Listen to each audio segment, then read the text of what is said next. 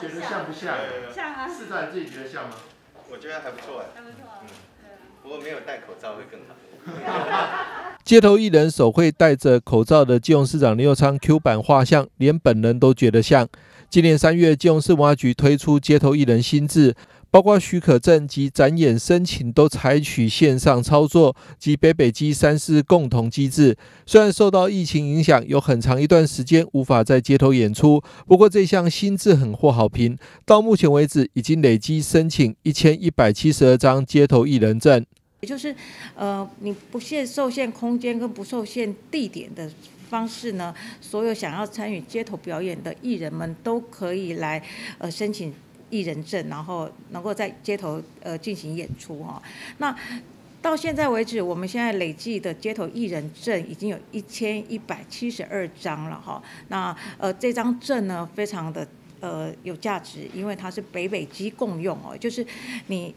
呃，在台北市、新北市跟基隆市三处，只要在一处登记街头艺人，就可以在三地呃登记进行演出哈。那我想，呃，这个街头艺人的风潮，希望在疫情解封，然后我们逐渐回到正常的生活以后，呃，我们可以看到更多在街头呃展现的一些呃活力跟一些表演的艺术。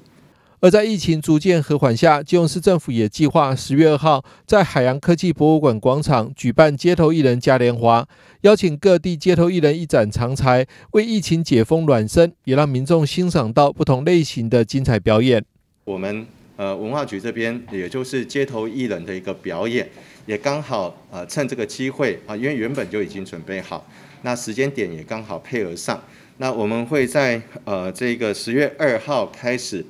再来举办这个一起一会哈，街头艺人的嘉年华会，来为呃整个的一个我们恢复正常的生活，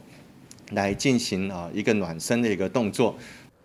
除了表演艺术的活动，现场还将规划街头艺人市集，包含捏面人、造型气球、吸管制作、人像速写等二十组展演摊位，展现艺术的多元样貌，邀请大家一起来重温正常生活的美好。